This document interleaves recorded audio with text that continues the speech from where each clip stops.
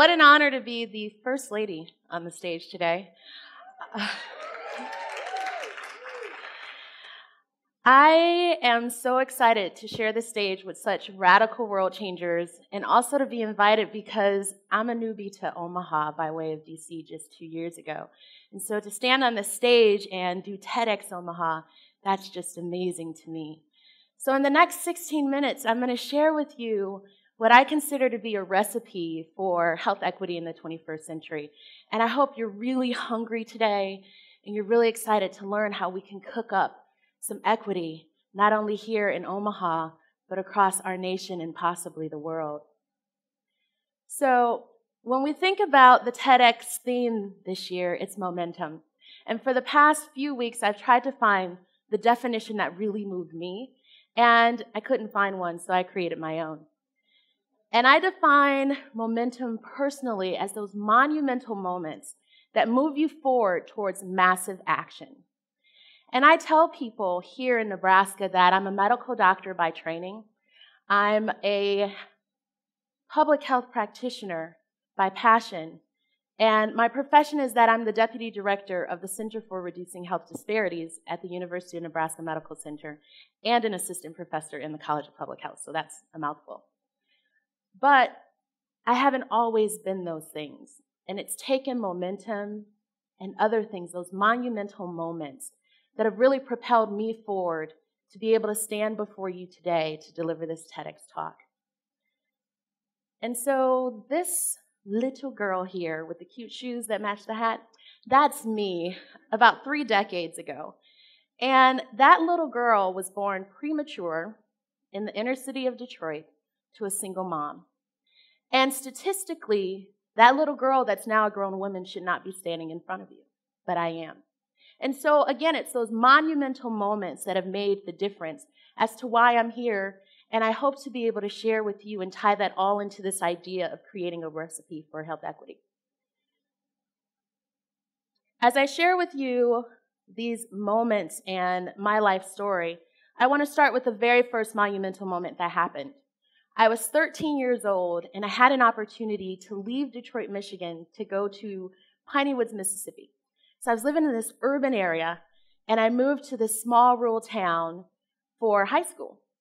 And while I was at Piney Woods, it was the first time in my life that anyone ever asked me, not, are you going to college, but where are you going to college? And to be honest, I never thought about that before because my plan was to do hair and nails or work at the Cracker Barrel because I just thought they had the best pancakes in town. But by the time I graduated from Piney Woods, I had an answer. I knew that I was going to the University of Minnesota on a full academic scholarship, but I also knew that I wanted to be Dr. Renaisa Anthony, Doctor of Veterinary Medicine. And so I went from Mississippi to Minnesota at the University of Minnesota, and I spent the next four years learning about animal husbandry. And I took my first international trip to Korea. And that showed me like there's so much more, even behind, beyond the United States, that I didn't know and that I would have never dreamed of experiencing. And so I graduated in four years, and the money ran out from my scholarship, and I realized I had no money to go to vet school. And so, like any responsible young adult, I went and I got a job, and I moved from Minnesota to Indiana. And I worked for Dow AgroSciences as a research biologist. Now, being in Indiana, I was very close to my hometown in Detroit, and I would spend the weekends going home and now that I have been to urban areas, rural areas, international places, I saw my hometown differently. Not that it was different, but I saw it differently because I'd been exposed to so many different things. You know, we say in Rome, we will do as the Romans do, and my Romes kept changing. I went from wanting to do hair and nails to being a veterinarian to I don't know what I'm going to do because I have no money to do what my passion is. And so when I went home, I noticed things like, why is it when I go to my grocery store, I can't find fresh produce? And when I do, it's expensive. And why is it that my closest girlfriends from middle school, they all are talking about the struggles they're having just feeding their children because by the time I was 21, most of my friends didn't have just one but two babies. Why was it that some of the kids that I went to elementary school with, they were now infected with HIV AIDS? or um, some of our family friends, and my grandmother would call me and say, You know, oh, such and such is gone on to glory. That's what we say when people die. And they lived such a long life. And I'm thinking, Well, Mr. Johnson was only 55 or 60, and that's not a long life. And so every time I came home, there were things that I noticed that were different, like where I lived in Indiana, I would come home from work and people would be running and jogging down the street. Yet in my community in Detroit, people weren't running down the streets because of violence. And if you did, they were being chased by the police or there were little kids chasing the ice cream truck. So I started to ask these questions of why? Why are there these differences? Why on my corner store are they advertising tobacco and alcohol? And if I just stand here and listen to some of the conversations and what people are buying, it's radically different than where I live now. And why is it that I see this, but the people who I grew up with don't see it, and now I'm a little weird and I'm a little different and I've moved on. And I'll tell you, my grandfather used to say, every time you get a degree, you come home and you stop eating something. So I'm his grandbaby that stopped eating pork, and then I stopped eating beef, and then I didn't drink whole milk. But these were things that are in my community that, as I moved around, I learned weren't necessarily healthy for me. And so I had this monumental moment where I said, Come on, you want to be a veterinarian, and we don't even take our animals to the vet in this community. You are called to do something different. And maybe instead of being Dr. Anthony, Doctor of Veterinary Medicine, all these things that you're observing, these problems, you've been called maybe to be Dr. Anthony, MD. And so I went to Chicago, to the University of Chicago, um, for medical school. And I sat in the front row rows most days, and I learned every day how African Americans, Latinos, Native Americans have adverse outcomes, adverse health, highest rates of XYZ, you name it, diabetes, coronary artery disease, we had it. And so I started again to ask, why? And I saw graphs like these where, based on your gender and based on your race, we could predict how long you would live in this country. Now, if you didn't happen to notice, I'm female, the very first one here today, and I happen to also be African American. And for me, this graph was problematic because I didn't get to choose those things, but I knew that every day I was learning that I was at a higher risk of everything you can name. So I even thought on dermatology day, I know we got it. I'm gonna sit in the front row because we don't get skin cancer.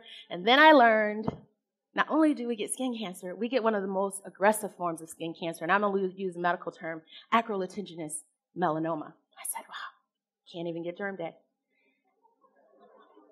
So I went to my third and fourth years, which are your clinical years, and I saw that these things are true. The patients that I see on dialysis look like me, yet the patients who are getting the renal transplants don't.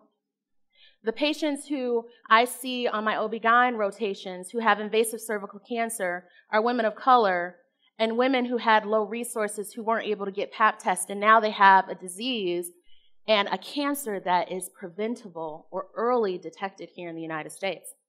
And I kept asking that question of why, why, why, and that next monumental moment happened where my attendings and my mentor said, you know, I really think you're interested also in public health. Now, the problem was I had never heard of public health. I didn't know what it was. And I said, Well, what is public health? And they said, I don't know. I just know people like you who care about communities and you could care less on rounds about how to diagnose this. You're asking those really hard questions. And I think public health is right for you. So I left Chicago and went to Boston. That little girl from Detroit was now at Harvard University learning the pillars of public health, which are health promotion and disease prevention. And when I was at Harvard, I had a couple of monumental moments. Number one, I learned about research.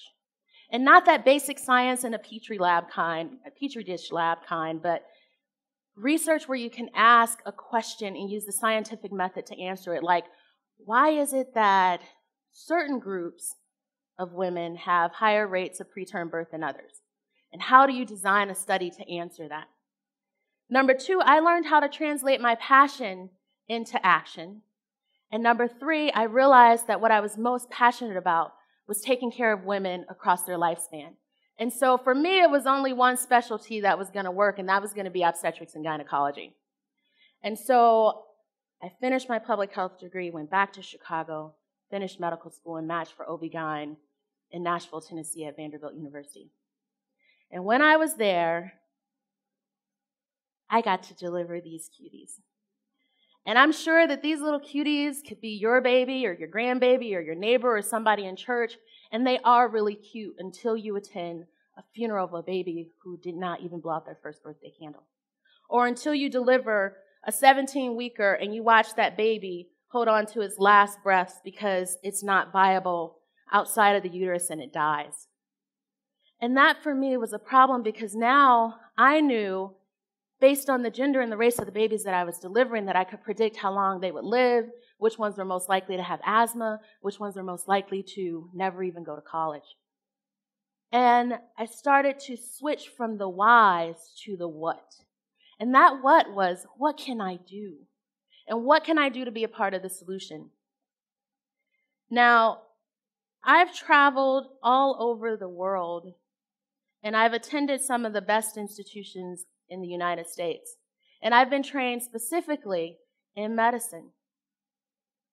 Yet, the one statistic that bothers me the most is that with all that education and all that exposure, my risk when I choose to be a mother of having a baby that's born preterm like I was, or a baby that never blows out his or her first birthday candle exceeds that of a Caucasian woman who never graduated from high school.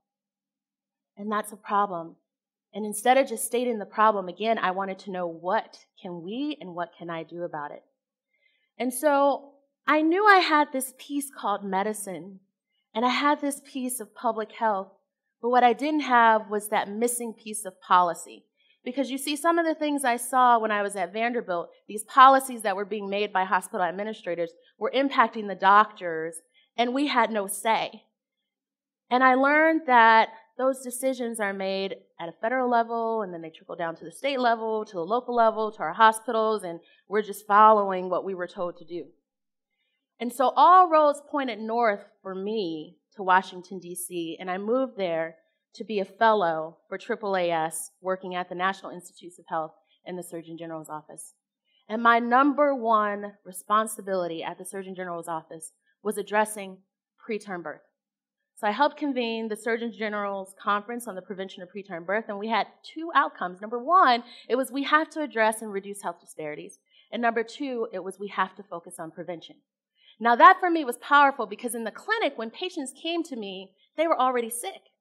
But the work I was doing now, those policies were impacting every single woman, including the ones in this room today. And so when I finished my fellowship, I had an opportunity for my very first real job at George Washington University.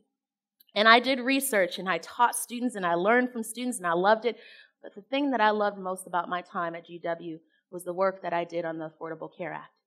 You see, I had the opportunity to testify before Congress and take not only my stories from my family and my community, but the stories of my patients, the stories of my students to Capitol Hill because we had one goal. Women and children were not going to be left off of the political agenda.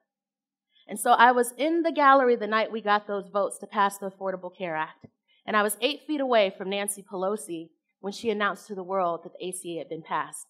Now, I agree, it's not a perfect bill, but when it comes to mothers and children, the language in that bill is in the right direction, and I'm so proud to have been a part of that work. But I go back to that why, why, and why, and you know, we have some of the answers, and that answer is really about environment. And there are things in our social environments that dictate our long term health outcomes. Now, see, like I told you, I, I, had no control over that. I'm female and I'm African American here. But the reality is that my race and ethnicity can only account for a small proportion of any health outcome I ever have. And the reality is that my culture and all these other things here make a huge difference for everyone living and what your health outcomes are. And it has a lot to do with stress. so I'm going to take you back in these final three minutes to this idea of a recipe. And um, I shared with you some of those ingredients that I've collected over the years that I think are really important for health equity. And I have a confession because um, all those years I lived in dorms and I traveled, uh, I, I, I don't know how to cook. And I know to make a delectable dish that's bold and flavorful, you need quality, fresh ingredients. And so I feel like I have those ingredients right now at the table, And I have them here. I just don't know what to do with them. I, I, need some additional cooks in the room because I don't know if it needs to simmer or if it needs to, to boil or what to put in first or what to put in second. But I know that the key ingredients are here.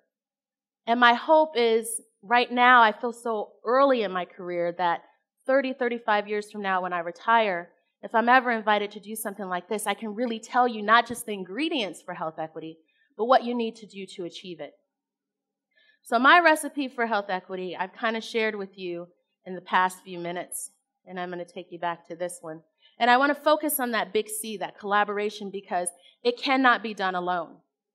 And so when I got that call to come to Nebraska to UNMC, I'll be honest, at first I thought, um, I have no intentions of moving to Nebraska. But I came and I was so impressed by the work that Douglas County and people in Omaha were doing for women and children, whether it was infant mortality or preterm birth. And I wanted to be a part of that work. And so I took the challenge to come here to work with key stakeholders to make a difference in the lives of women and children. So I'm going to take you back to this momentum piece and those monumental moments that move you forward. And I've shared with you some of those. Remember that little girl? That little girl is this grown woman standing before you, and statistically, like I said, I shouldn't be here but I am, which tells me that data and statistics can be altered and changed because they're just snapshots. But collectively, we can improve, at least here in Omaha. My recipe was research, E for education, C for collaboration, I for initiative and implementation, P for public health and policy, and the E was the empathy to empower. I'm going to leave you with this last one, this last slide here, and that's me with the Surgeon General of the United States, Dr. Regina Benjamin. And Dr. Regina Benjamin endorses Healthy People 2020 goals, which state that we will eliminate health disparities, we will achieve health equity, and we will improve the health of all people. And so, as a professor, I'm going to ask you to do one assignment. When you leave here today, I want you to have one thing that you can do to help us reduce health disparities so we can achieve the ultimate goal.